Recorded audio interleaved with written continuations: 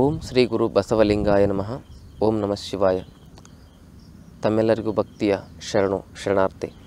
ನಾನು ನಿಮ್ಮ ಯೋಗ ಗುರು ವೈದ್ಯ ಶ್ರೀ ಚನ್ನಬಸವಣ್ಣ, ಶ್ರೀ ಗಂಗಾ ಯೋಗ ನಿಸರ್ಗ ಚಿಕಿತ್ಸಾ ಹಾಗೂ ಆಯುರ್ವೇದ ಸಂಶೋಧನಾ ಕೇಂದ್ರ, ಬೆಂಗಳೂರು, ಹುಬ್ಬಳ್ಳಿ ಮತ್ತು ಧಾರವಾಡ. ತಮ್ಮೆಲ್ಲರಿಗೂ Ayurveda tips in Kannada YouTube ಚಾನಲ್ಗೆ ಭಕ್ತಿಯ ಸ್ವಾಗತ.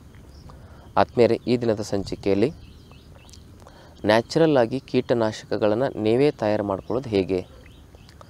ಕೀಟನಾಶಕಗಳನ್ನು ಬೆಳೆಗೆ ಹೊಡೆಯೋದ್ರಿಂದ ಆ ಕೀಟನಾಶಕಗಳಲ್ಲಿರ್ತಕ್ಕಂಥ ಕೆಮಿಕಲ್ಗಳು ಆ ಬೆಳೆಯಲ್ಲಿ ಸೇರಿ ಅದನ್ನು ತಿಂದವ್ರಿಗೆ B P, sugar, cancer, asthma ನಮ್ಮ ದೇಶದಲ್ಲಿ ಕಾಯಿಲೆಗಳು ಜಾಸ್ತಿ ಆಗಲಿಕ್ಕೆ ಒಂದು ರಾಸಾಯನಿಕ ಔಷಧಿಗಳು, ಇನ್ನೊಂದು ರಾಸಾಯನಿಕ ಔಷಧಿಗಳ ಬಳಕೆ, ಬೆಳೆಗೆ ಬಳಕೆ ಮಾಡತಕ್ಕಂಥ ಒಂದು ಕಾರಣಗಳೇ ಆಗಿರ್ತವೆ.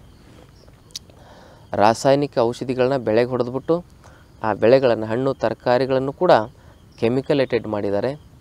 ಇನ್ನು ಆ ಒಂದು ರಾಸಾಯನಿಕ ಔಷಧಿಗಳನ್ನ ಹೊಡೆದಿರತಕ್ಕಂಥ ಆಹಾರ ತಿಂದು ನಮಗೆ ರೋಗ ಬಂದಾಗ ಅದನ್ನು ನಿವಾರಣೆ ಮಾಡ್ಕೊಳ್ಳಿಕ್ಕೆ ಅದೇ ರಾಸಾಯನಿಕ ಔಷಧಿಗಳನ್ನು ತೆಗೆದುಕೊಂಡು ಒಂದರಿಂದ ನೂರು ರೋಗವನ್ನು ನಾವು ಬರೆಸ್ಕೊಳ್ತಾ ಇದ್ದೇವೆ. ಅದಕ್ಕೆ ಎ ಡಿ ಆರ್ ಅಂತ ಕರೀತಾರೆ ಅಡ್ವರ್ಸ್ ಡ್ರಗ್ ರಿಯಾಕ್ಷನ್ ಒಂದು, ಆಹಾರವನ್ನು ಕೆಡಿಸ್ತಾ ಇದ್ದೇವೆ. ಆ ಕೆಟ್ಟಿರೋ ಆಹಾರ ತಿಂದು ಬರ್ತಕ್ಕಂಥ ಒಂದೆರಡು ರೋಗಕ್ಕೆ ಔಷಧಿಗಳು ರಾಸಾಯನಿಕ ಔಷಧಿ ತೆಗೆದುಕೊಂಡು ಎರಡು ರೋಗ ಇರೋ ನೂರು ರೋಗ ಮಾಡ್ಕೊತೀವಿ. ನೋಡಿ ಬೇಕಾರೆ ಬಿ ಪಿ ಮಾತ್ರೆ ತೆಗೆದುಕೊಳ್ತೇವ? ನಿಧಾನಕ್ಕೆ ಶುಗರ್ ಬರುತ್ತೆ. ಶುಗರ್ ಮಾತ್ರೆ ತೆಗೆದುಕೊಂಡು ತೆಗೆದುಕೊಂಡು ಹಾರ್ಟಿಗೆ ತೊಂದರೆ ಆಗುತ್ತೆ. ನಿಧಾನಕ್ಕೆ ಕಿಡ್ನಿ ಫೇಲ್ ಆಗುತ್ತೆ. ನಿಧಾನ ಬ್ರೈನ್ ಹೆಮ್ರೇಜ್ ಆಗುತ್ತೆ. ನೂರ ಎಂಟು ರೋಗಗಳು ಬಂದು ಆಸ್ಪತ್ರೆಯಲ್ಲಿ ನರಳಿ ನರಳಿ ಸಾಯಬೇಕಾಗುತ್ತೆ. ಶುರುವೆಲ್ಲಿಂದ ಆಗಿದ್ದು ಈ ಆಹಾರವನ್ನು ನಾವು ಮೊದಲು ಕೆಡಿಸಿದ್ವಲ್ಲ, ಆ ಒಂದು ಸಮಸ್ಯೆ ಉದ್ಭವ ಆಗಿರೋದು ಪ್ರಾರಂಭ ಅಲ್ಲಿಂದ.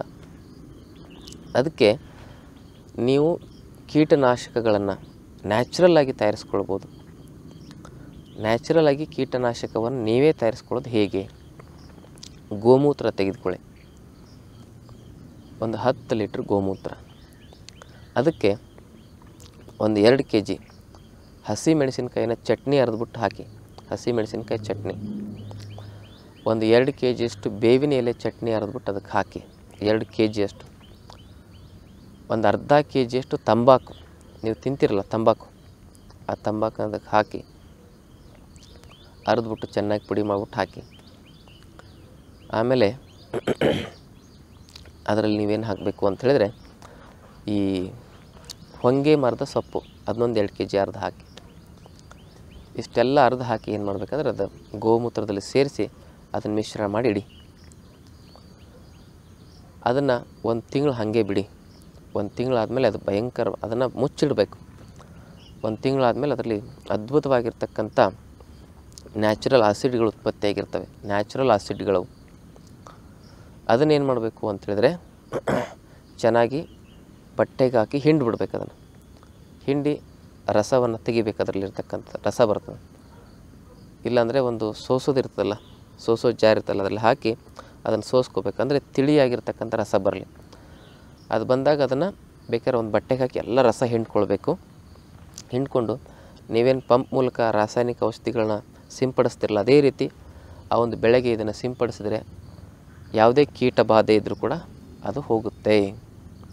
ನ್ಯಾಚುರಲ್ ಆಗಿ ಹೋಗುತ್ತೆ. ಇಂತಹ ಆಹಾರವನ್ನು ನೀವು ಸೇವನೆ ಮಾಡೋದ್ರಿಂದ, ಇದರ ನ್ಯಾಚುರಲ್ ಅಂಶಗಳು ಇರೋದ್ರಿಂದ ಇದನ್ನು ಸೇವನೆ ಮಾಡಿದರೆ ಯಾವ ರೋಗಗಳು ಬರೋದಿಲ್ಲ. ಹೀಗೆ ನೀವು ಸಾವಯವ ಪದ್ಧತಿಯಲ್ಲಿ ನಿಮ್ಮ ಬೆಳೆಗಳಿಗೆ ಬಂದಿರತಕ್ಕಂಥ ಕೀಟಗಳನ್ನು ನಾಶಪಡಿಸ್ಬೋದು. ಈ ಮಾಹಿತಿ ತಮಗಿಷ್ಟ ಆದರೆ ತಮ್ಮ ಬಂಧು ಮಿತ್ರರೊಂದಿಗೆ ಶೇರ್ ಮಾಡಿಕೊಳ್ಳಿ. ಫೇಸ್ಬುಕ್ನಲ್ಲೂ ಕೂಡ ಆಯುರ್ವೇದ ಟಿಪ್ಸ್ ಇನ್ ಕನ್ನಡ ಅಂತ ಚಾನಲ್ ಇದೆ.